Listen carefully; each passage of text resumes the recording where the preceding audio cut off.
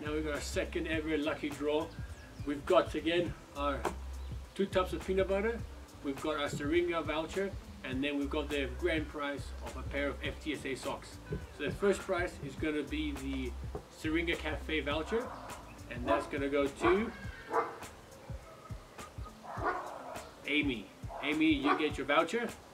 Second one is going to be for the peanut butter and that's going to go to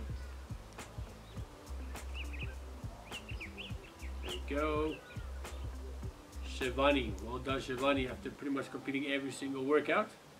And last but not least, the grand prize is going to be our socks. They haven't arrived yet. I expect them to come tomorrow or Tuesday, so you'll get those. And that will go to grand prize winner of Raymond. Awesome, Raymond. You'll be the proud owner of the first ever pair of FTSA socks. So we'll get them to you.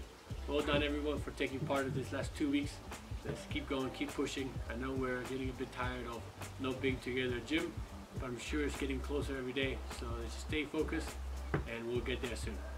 See you later. Bye.